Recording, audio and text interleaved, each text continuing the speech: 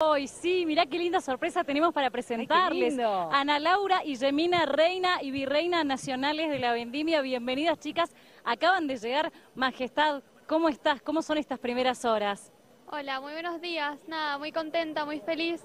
Eh, ya estamos con las primeras actividades como reinas y reinas nacionales. La verdad es que es una alegría inmensa.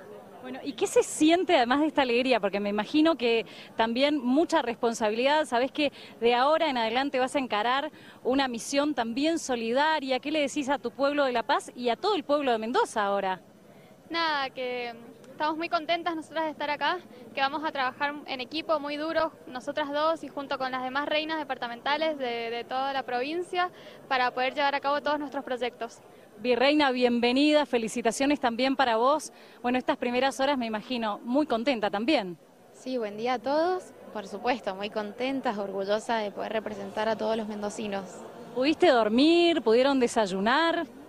Dormir poquito, pero sí, ya desayunamos, tenemos energías, así que bueno, vamos para adelante.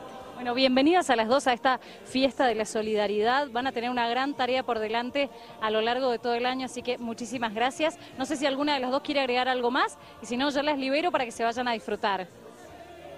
Quisiera agradecer por invitarnos a, bueno, esta vendimia solidaria, es muy, muy lindo para nosotras, ya es nuestra primera actividad como Reina y Virreina Nacional, como dije anteriormente. Y bueno, un saludo enorme a Tano Robles, que seguro nos está escuchando, y gracias a ustedes. Gracias, gracias, majestades. Que tengan una hermosa bienvenida.